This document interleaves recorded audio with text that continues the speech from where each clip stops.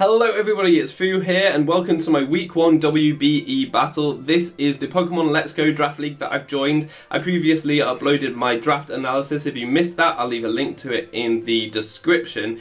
And in this week 1, I will be going up against the amazing Hayden and his Colorado Rapid Spins with a very strong roster. So just briefly looking at our drafts, I did see that my Mega Aerodactyl easily outspeeds everything and I can bring it adamant so it will be doing a lot of damage. So my game plan going into this was um, get chip damage on his entire team so that I can go for a late game Mega Aerodactyl sweep. And so with that game plan in mind, let's go and look at my team just before the battle so that I can explain the sets that I brought. If you're not interested in that, then I'll leave a timestamp in the comment section so that you can just skip straight to the battle. So the team I brought, as I said, was built around a Mega Aerodactyl sweeping at the end. That means I'm just going to bring four moves which two-hit KO his entire team apart from Mega Gyarados. So that's really good. It means that a late game sweep is definitely viable. Just need some of the chip on all of those Pokemon and I need something to be able to stop Mega Gyarados. So with that in mind, I also brought a Nidoking. This is going to be my Stealth Rocker and Stealth Rocks are really, really important. It can't be overstated for getting all the chip damage on his team. So Stealth Rock is going to be my highest priority. It's also got some really nice coverage move. Earthquake hits most things, Ice Punch hits the Dragonite, and Flamethrower hits Tangela. So really good coverage for the team, and I'm liking Nidoking a lot in this matchup. The next thing is going to be Poliwrath. As I said, I need a really hard switch into Mega Gyarados, and this thing resists both of its stabs. It should be able to tank hits for quite a while. It's got that nice impish nature to make it as defensive as possible. And then its coverage moves are pretty great. Superpower hits a lot of his team for a lot of damage. And then we've just got some other really good coverage moves. I slotted Earthquake on there to be able to hit Alolan Golem a bit harder, but more importantly, Tentacruel, it will do a ton of damage to Tentacruel. So that's Tadswole the Poliwrath. We have then got Vegetrouble the Venusaur. So Venusaur I thought was just a good bring because it was generally quite bulky, um, could take one hit from most things, and it's got the Sleep Powder on there, which is really nice. It gives me a really nice answer to Tangela, and I'm able to slot on Earthquake, so it can act as kind of a lure for Arcanine, which is a big threat to my team. I really don't have many switch-ins, especially considering that I have to preserve Poliwrath and Mega Gyarados. Really not much at all once I switch into the Arcanine, so hopefully I can catch that, that with some damage there. And then the final two slots on my team I actually save for some contingency and some offensive Pokemon. Both Electabuzz and Kadabra outspeed Hayden's entire team and can hit it pretty hard. So Electabuzz, four attacks again, hits everything super effectively apart from Arcanine, which is crazy. Um, it's really, really good actually, and two hit KOs the majority of the team. And I really like the look of Electabuzz in this. It also hits Mega Gyarados for some of the most damage on my team, so I think it's going to be really important in this match. And then the last Pokemon is Kadabra. So again, outspeeding everything is great, so it can maybe help clean at the end. The Psychic hits a lot of things for good damage, not super effective against everything, but it's just very powerful. And then Dazzling Gleam catches Mega Gyarados for a decent amount of damage, but not too much. I also slotted Thunder Wave on there because actually I thought that that could be quite an important win condition if I'm unable to sweep with my Mega Aerodactyl at the end, maybe if I paralyze something previously, I can hopefully get some Para Flinch going. I'm really hoping I don't get to that posi position and I've played a bit better throughout the match to prevent having to rely on that but I thought that it would be an important tool to bring just in case it gets to that. And then the final move is something that I probably won't be using too much. I didn't really need any more coverage, but Substitute is there just to mean that uh, predictions are made a bit easier and also I can avoid a Sucker Punch from a potential Raticate, although that's probably unlikely. So that's Voldespork, the Kadabra. So that's the team. Let's get into the battle and see what Hayden brought. Just a note, I, this is going to be post-narrated just because of the time that I had to record this. I can potentially do do live commentary or post narration in the future weeks, so let me know in the comment section which you would prefer. So looking at the Pokemon that Hayden brings, and I think that they're all really fantastic and scary for my team. Um, we've got the Mega Gyarados there, Arcanine is really hard to switch in on, as I said. Dragonite is very scary because it potentially has a strong Aqua Jet to hit my Mega Aerodactyl, or it's got agility and could maybe sweep my entire team. So I need to be really careful about that Dragonite. And then Machamp also is very hard to switch in on. I like the bring of Alolan Sandslash. Again, the powerful Ice Shard is something I need to bear in mind, and it is probably his Stealth Rock of this match. And Tangela is the only one I wasn't sure about. I thought that maybe Tentacle would come as a check for uh, Poliwrath, although it's not too reliable for that anyway. Um, and then maybe Alolan Golem as a potential uh, rocker to allow Alolan Sandslash to do other things. But um, Tangela is here, I can probably deal with that okay. As I said, Stealth Rock is like the highest priority for me, so that's why I'm bringing Nidoking as my lead. I was hoping that because I put Venusaur in the first slot, it would tempt Hayden not to lead with Mega Gyarados. Um, and maybe bring something that my Nidoking can set up rocks on a bit easier, maybe something like the Arcanine. Um, but anyway, we'll see as we get into this battle. Um, so uh, priority, steps up Stealth Rock, start getting chip on the entire team for a late game sweep with Mega Aerodactyl. That is the plan. Um, so let's see what Hayden brings with, he's got the Pikachu version, very cool, very cool Pikachu actually.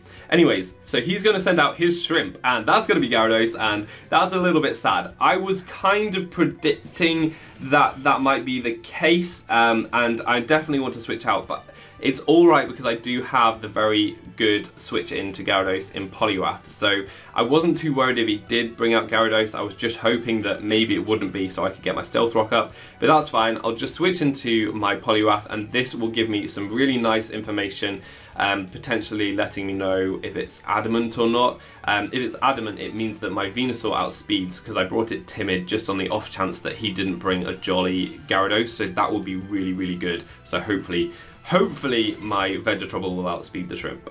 So uh, obviously Gyarados is going to Mega Evolve and Poliwrath should be able to tank any hit. Probably going for a Waterfall if he's staying in against a Nidoking and I will resist that and that's actually what we see so that should be fine. I should be able to tank this for days but it does a ton of damage. That did so much damage. It is a critical hit on the first turn and that's pretty bad for me because it really limits how good a switch in my Poliwrath is going to be. So I need to be really careful about Gyarados now. I am just going to go for a superpower. Looking at his team, there's definitely not very much at all that will want to take this superpower. Um, it obviously will do a ton of damage to Gyarados, and I really don't want to mess around with Gyarados. Um, and anything else will do a lot of damage. I guess the only thing it, that could take it really well is Dragonite, but any damage on that is helpful because I've said it's a massive threat, could potentially sweep my entire team. So, But actually, Tangela comes in, it is able to eat up that superpower. It does a lot of damage though, and it won't be able to come in on Poliwrath again, um, but that's fine. And I do have my Venusaur here, which I can switch in very safely, but this is the point where I realise I've got the wrong Venusaur. Why is the Razor Leaf here? Why is the Double Edge? That is not what I planned to bring, and I picked up the wrong Venusaur. I was so, so silly. Um, I was initially going to bring Timid, but then I thought actually Naive is probably as good as anything. He doesn't have many special attackers, and it means that my Earthquake will be doing a bit more damage to things like Arcanine. Um, but this is really bad because I actually don't have anything to hit Tangela. I'm going to switch it in anyway because um, I probably would beat it one-on-one -on -one, seeing as though it's already at half half health and I do have double edge. Um, but it's really, really bad for me. And Hayden actually predicts that and double switches into his Arcanine, which is a fantastic switch. Now, in this position, I really don't have many switches to Arcanine. I can't let my Poliwrath get burned. It's way too important to check the Gyarados. Um, and so because I brought the wrong Venusaur, because it really isn't looking very good in this matchup, I feel much more comfortable being able to make a, an aggressive play like this, um, going for the Sleep Powder. With the way that Hayden's been playing, we've seen that he's already made that really hard prediction um, in terms of making the double switch. Hard as in like um, brazen, just going for it. And so I thought he may well make a prediction that I'd switch into something like Poliwrath and go for either a Poliwrath or a Will-O-Wisp, and that's actually what happens when I get away with that. Now, even if he had gone for Flare Blitz there, it wouldn't have been the end of the world because he would have taken recoil and put himself in revenge range of Aerodactyl. So actually, um, that was not as big a risk as it may have seemed, but this puts me so, so far in the front, I feel, because Arcanine was a huge threat to my team, and this is so helpful. I've still got a full health Venusaur, and it's just so great.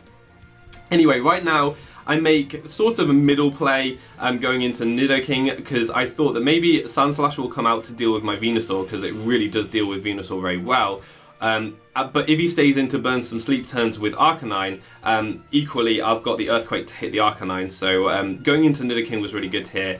And actually, I think that it's really obvious the way I'm playing Nidoking that it's my Stealth Rocker. I led with it, I'm trying to get it in at any opportunity. So I'm actually going to go for the Flamethrower, predicting Hayden to stay in, uh, predicting maybe my rocks or something like that. Um, and just take it out because I know Flamethrower is a one hit KO. Um, so I can do that. I still don't have my Stealth Rock up yet. Um, and I really want to prioritize this at this stage because Mega Gyarados is still at full health and I don't want to have to sack things every time, which is going to be the case soon if Poliwrath goes down anytime soon. So, uh, yeah, that's the, the thing that I'm really going to have to prioritize. But that work, that move with Sand, uh, with Sandslash worked really well for me. He could have switched into Gyarados, um, but I'm really glad that I made that call and, and went for the flamethrower. Um, probably he was staying in either to get his own rocks up or go for the ice punch. Ice punch into ice shard would definitely knock out my Nidoking. So uh, if you predicted my stealth rock, then that's probably why he made that play. Anyways, now I can switch into my Poliwrath. Uh, I'm not sure if it will be able to take two Earthquakes, but I think it probably will be able to take two Earthquakes from this Gyarados. And um, as you can see here, the Earthquake does come out. So that was a nice play by uh, Hayden that would have hit my Nidoking and it also hits my Poliwrath. And actually that is a two-hit KO. That pretty much, um, it, that probably means that this is an Adamant Gyarados. Probably. Um, I, we're not allowed to do calcs in this lead, so I, I wasn't 100% sure. Um, but what I'm going to do now is just go for the superpower. Um, I wasn't sure if Hayden would stay in or not. He may well not have been sure whether it was a two-hit KO, and with damage variation, it's always a bit of a risk. Um, and Gyarados is actually by far his most important Pokemon left because it still is is pretty much the only thing that can reliably take on my Aerodactyl. Um, but actually, he does end up switching out, and I can understand that if he wasn't sure that the Earthquake would take me out, then uh, he wants to switch. I'm, i think it was almost a definite um, uh, definite KO at that stage, but uh, he may also have been fearing that my Poliwrath outspeeds him. I'm not sure if that's possible, but he, if he's adamant and I'm jolly, I may, may be able to outspeed him. Anyway, I get some really nice damage on this Machamp coming in. I don't really have switch-ins, and at this stage, Poliwrath can't switch in on Gyarados anymore anyway, so I'm thinking I'll just stay in and get a bit more damage on this Machamp because my then either my Electabuzz or my Aerodactyl will be able to take it out and I won't have to rely on Kadabra. Kadabra would OHKO it, but uh, getting it in this range means that it, it definitely can be taken out by pretty much anything on my team apart from the wrong Venusaur. Venta Trouble, this is why I gave you that name. Why? You are trouble. Why did I bring you? Anyway, at this stage I actually decided to switch into my Nidoking um, because I'm feeling that this is actually a great time to try to get up my Stealth Rock. I'm pretty sure that anything that Machamp goes for will not take me out. I'm actually not sure about that, but I think that anything that Machamp will go for won't take me out because it's not stab um, and I'm still at full health. So if I can get my rocks up here, that will help a lot in terms of starting to chip away at that Mega Gyarados and also I need a Stealth Rock hit on the Dragonite for a lot of my coverage moves to be able to take it out. For example, Nidoking's um, Ice Punch will only take it out after it's taken rocks damage um, and Rock Slide is not a one-hit KO from Mega Aerodactyl, so I need my rocks up. Um, and I'm thinking maybe Machamp will switch out. It, he could well go into something like um, maybe Tangela. Unlikely. It would probably be more of a sack if he did that because obviously I, I could have poison type moves and he's already seen the flamethrower which would take it out. Or he could go into Mega Gyarados but he does stay in. Uh, I think that was probably the best play on his part because uh, Machamp isn't going to be too useful for much else, and um, yeah, it won't be able to. It, pretty much my entire team outspeeds it. So uh, at this stage, getting damage on the Nidoking is is definitely his best play, and I was able to take that quite comfortably. Actually, I was surprised that that it didn't um, get me down even further. But yeah, I, I, was happy that I could easily survive that, and I'm pretty sure Earthquake is a KO here. So I'm just going to go for that, and nothing really switches in. Now I've got rocks up. Uh, rocks into Ice Punch would take out Dragonite. So I can take out the Machamp. Very good, very good.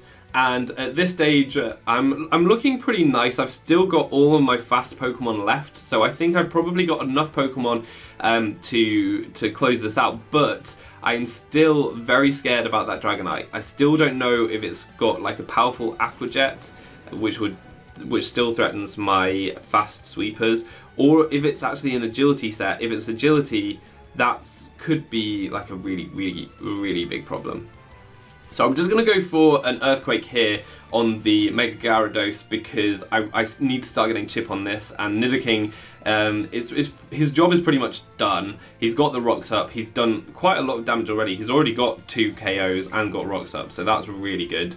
Um, so I'm just going to get, get some damage on this Gyarados, but Hayden actually switches into Arcanine, maybe predicting my switch into Gar uh, to Venusaur on the Gyarados, um, hoping to get some sleep turns off. Uh, which is a reasonable play, although I think that Hayden could probably have waited, gone for an Earthquake or a Crunch or something to see if I did go into Venusaur and then switch into Arcanine, um, rather than switching hard into it, um, because there was a chance that I would stay in like that and, and get rid of Arcanine. Um, so that worked out pretty well for me, because it means that Gyarados takes two turns of chip damage with the rocks, and Arcanine has gone.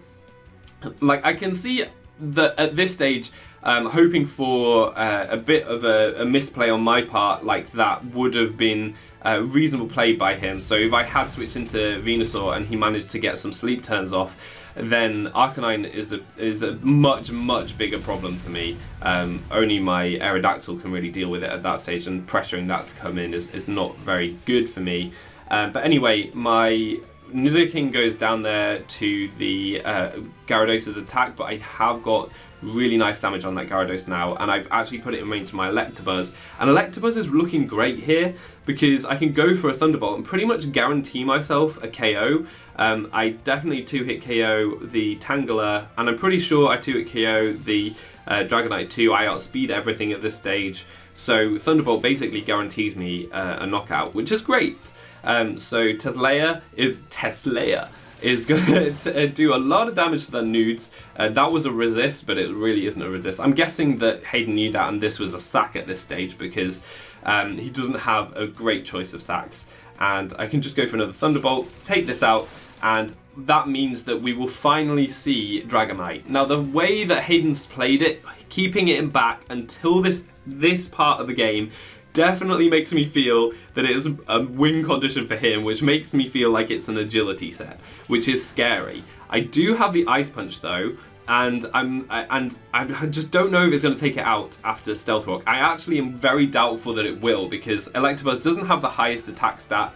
It's not stab. It's quite a low base power move. I'm really not sure that this will take it out. It should do a lot of damage, but it's going to be close. Now let's see if it does. no, it's left on about like 3 HP and it does get an agility off and this is when the clenching starts because it's getting quite close now. Um, this Dragonite, I have no resists to its move, I have no priority on my team, it will outspeed even my Mega Aerodactyl, so this is really not good at all. The Earthquake comes out showing me that it's most likely a physical variant because Dragonite can run some special sets.